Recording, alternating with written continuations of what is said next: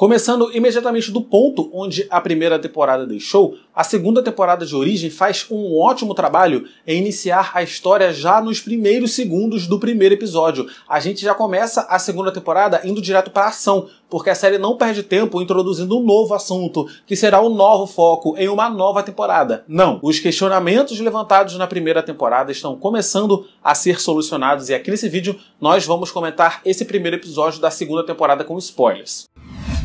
Fala galera, aqui é o Matheus Mendes, sejam muito bem-vindos a mais um vídeo aqui do canal. Mais um vídeo pra gente falar da série From ou Origem em português. A segunda temporada da série estreou ontem, mas infelizmente a série não está disponível ainda em nenhum serviço de streaming aqui no Brasil, infelizmente. Mas procurando aí na internet dá para achar sem grandes dificuldades. Eu não sei ainda se eu vou fazer uma análise semanal da série aqui no canal, porque pelo fato dela não estar disponível no streaming, isso prejudica bastante. Mas quero comentar pelo menos esse primeiro episódio da segunda temporada, porque foi um episódio que eu gostei bastante. E claro, se você está chegando no meu canal através desse vídeo, sinta-se livre para se inscrever. Aqui a gente fala bastante de séries e filmes, e se uma série é complicada, com certeza vai ter review aqui no canal Matheus Mendes, porque eu gosto muito desse tipo de série. E você pode também me seguir no Instagram para acompanhar o conteúdo que eu levo para lá. Vamos começar falando do Boyd. No final da primeira temporada, ele tava com a Sarah, né? Tava chovendo, a noite tava se aproximando, a Sarah tava ali tentando carregar ele sem conseguir muito bem,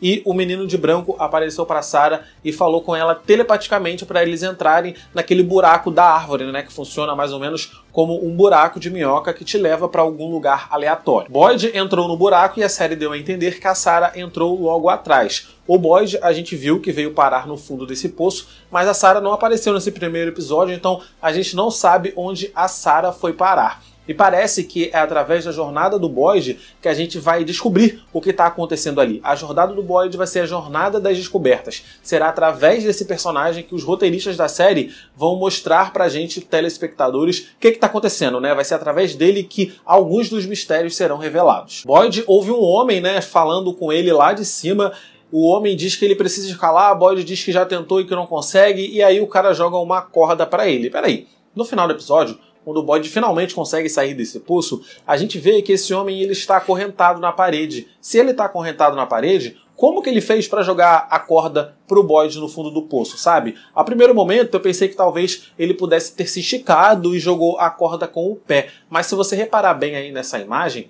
parece que a distância da parede onde esse homem está acorrentado até o poço é um pouco grande, então eu não acho que ele conseguiria se contorcendo, né, mesmo com o pé, atirar a corda lá embaixo, ainda mais na velocidade que foi. O Boyd pediu, ele falou que não dava, já veio a corda. Isso me levou a crer, será que esse homem está realmente preso? Porque estando preso, estando fraco dessa forma, será que ele conseguiria se contorcer da forma que seria necessário para jogar uma corda com o pé? Se ele está preso, será que ele está sozinho ali? Quem é que prendeu ele? Porque me parece que ele foi a pessoa que se auto-acorrentou na parede. E se ele foi essa pessoa, talvez ele seja capaz de sair das correntes também. O interessante é que enquanto o Boyd estava subindo a corda, ele tem uma visão do filho dele no fundo do poço, meio que o chamando para baixo, como se a cidade estivesse impedindo, tentando impedir o Boyd de subir. Foi isso que eu interpretei, porque a gente sabe que as visões que os personagens têm são visões dadas a ele por essa cidade, né? Dadas a eles por quem quer que seja a entidade que rege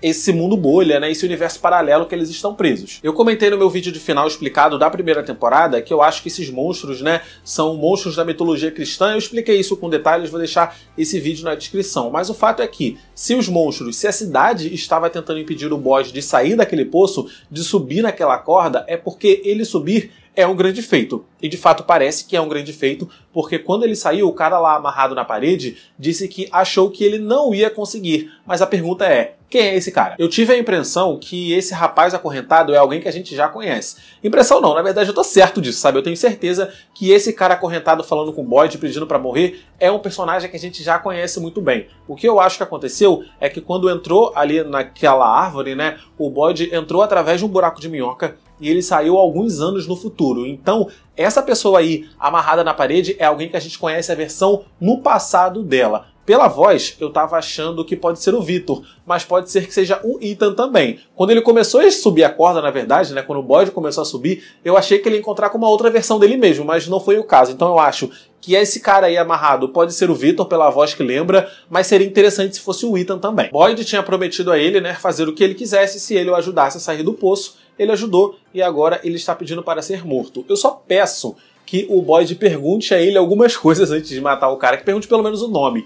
Porque se esse cara falar que se chama Vitor, pronto, a gente já sabe quem é. Se ele falar que se chama Ita, pronto, a gente já sabe quem é. E vamos ter a confirmação de que, de fato, o Boyd viaja no tempo. Porque sim, eu acredito que os buracos das árvores funcionam como buracos de minhoca. Mas vamos comentar um pouquinho do Vitor e da Tabitha, né? A Tabitha caiu ali naquele subsolo onde os monstros dormem e me deu muita agonia nessa cena, porque o Vitor chega pra Tabitha e fala, ó, oh, aqui onde os monstros dormem, fica quieta, não faz barulho. Ela, quê?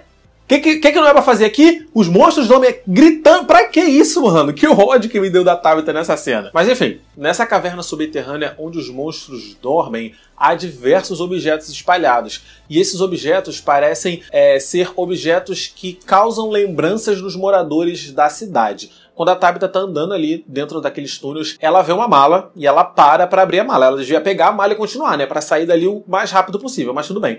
Ela parou, abriu a mala e viu um vestido branco. Que vestido é esse? O vestido é muito pequeno. Eu imagino que esse vestido talvez possa ter sido um vestido da própria Tabitha, um vestido que ela utilizou muito tempo no passado, numa ocasião muito especial, mas o fato é que esse vestido despertou alguma lembrança muito íntima nela. Quando eles entram lá naquela outra parte da caverna, o Vitor com a lanterna, ele vê um boneco de ventríloco que o assusta muito, e até então o Vitor era o corajoso, ele que estava acalmando a Tabitha, mas aquilo deixou ele apavorado, ele saiu correndo e ficou sentado em estado de choque. Esse boneco de ventríloco é o mesmo boneco que o Jade viu lá na Colony House House, depois que ele viu aquele símbolo na parede, né, esse boneco grita para ele. Se a gente puder levar em consideração o que o Ethan disse, em que em uma missão há símbolos bons e símbolos ruins, eu poderia apostar que esse boneco de ventríloco é um símbolo ruim. Pela forma que ele deixou o Victor assustado, parece que esse boneco já apareceu para o Victor em outras visões, já atormentou bastante o Victor, parece que o Victor sabe muito bem o que, que ele significa. Dentro da caverna tem outros objetos também, como eu disse,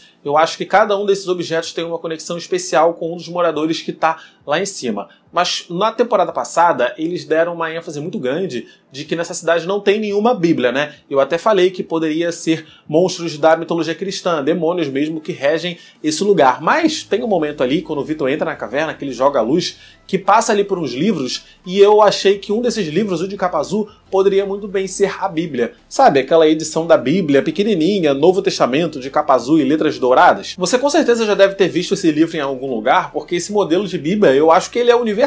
Quando eu morei nos Estados Unidos, eu ganhei um modelo de Bíblia igualzinho a esse. Então, assim, é um objeto que existe nos Estados Unidos. Então eu fiquei pensando, será que esse livro realmente é uma Bíblia e seria o objeto, né, que ligaria o padre àquela cidade, o padre que morreu na temporada passada? Sei lá, posso estar viajando, mas o que vocês acham disso? Sobre o ônibus chegando, eu achei muito engraçado que a dona, primeiro ela fala pro xerife, a primeira coisa que a gente tem que ter certeza é que eles vão manter a calma. Aí corta pra ela dando tiro no pneu, o outro xerife dando tiro para cima, todo mundo saindo desesperado. A calma, eles esqueceram, né? Eles é que não ficaram calmos. Eu acho que a forma como eles abordam os novos habitantes daquela cidade é uma forma completamente errônea. A dona foi falar com a motorista do ônibus. Ela deveria falar com todo mundo, todos os passageiros ao mesmo tempo. E aí no final eles dando tiro assustou um monte de gente, queria colocar o pessoal para dentro do diner, mas teve uma galera que saiu correndo. Aquela galera que saiu correndo pensou, pô, eu tô fugindo de uns doidos que começou a atirar na gente sem motivo, eles vão se esconder, mas eles vão acabar sendo encontrados pelos monstros e vão morrer. Uma forma inteligente de abordar esses passageiros seria através da noiva da Chrissy, né?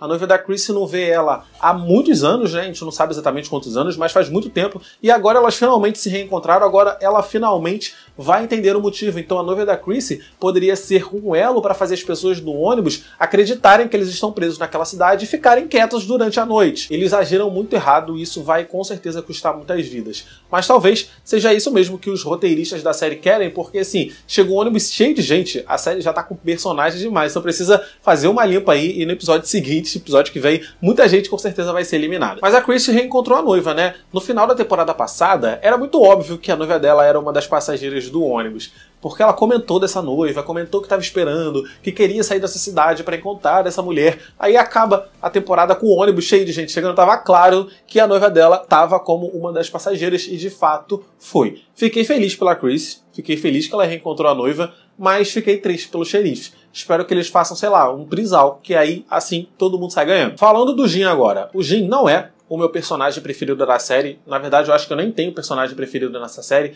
mas o fato é que Jin é um dos principais. Então, eu acho que a hora dele ainda não chegou, então por isso que eu acho que ele vai sim sobreviver à noite. O Jin tinha recebido uma ligação que deixou claro que a noiva dele não devia estar escavando, ele foi lá para casa, viu que estava cheio de entulho, resolveu escavar e com isso ele fez a casa desabar em cima dele, em cima de dois outros caras que estavam ajudando. Um desses caras está inconsciente. E é esse que está inconsciente que vai ser o grande problema no próximo episódio. Eu tenho certeza que esse cara que está desacordado, ele vai acordar durante a noite, vai acordar durante a madrugada sem entender nada, vai começar a gritar, vai começar a pedir socorro e isso vai atrair os monstros até ele. O Jin deve encontrar um jeito de sobreviver, mas os outros dois caras que estão presos ali naqueles entulhos com certeza vão morrer. Talvez os habitantes, né, os passageiros do ônibus que estão lá dentro do diner assistam esse massacre, essa execução pela janela e finalmente acreditem que eles estão presos naquela cidade, finalmente acreditem que a noite é perigosa ali. E tivemos também um personagem novo novo que parece que vai ser importante, né?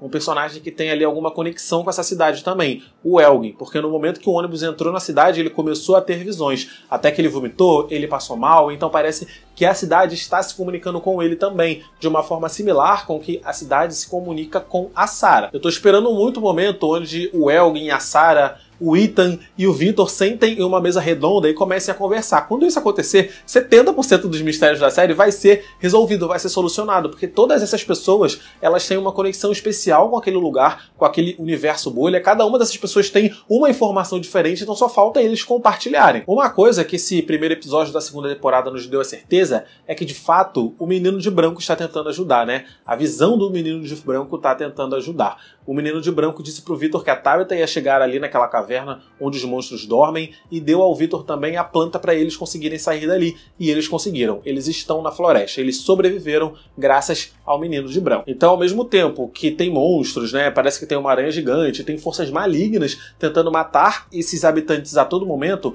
tem uma energia boa, tem uma força do bem tentando protegê-los também. Eu só sei que eu adorei esse primeiro episódio, daria nota 10. Eu adorei a forma como eles começaram a conduzir essa segunda temporada. Tô amando os mistérios e tô muito ansioso pro episódio dessa semana. Mas é isso, eu vou ficando por aqui. Deixa o like, por favor, porque o like me ajuda pra caramba. E comenta aí embaixo o que vocês acharam desse primeiro episódio da segunda temporada e se vocês querem que eu faça uma cobertura semanal por aqui também. Se inscreve no canal se você não tá inscrito, clica nos meus vídeos que estão aparecendo aqui do lado para assistir os meus vídeos anteriores. É isso, tchau e até o próximo vídeo.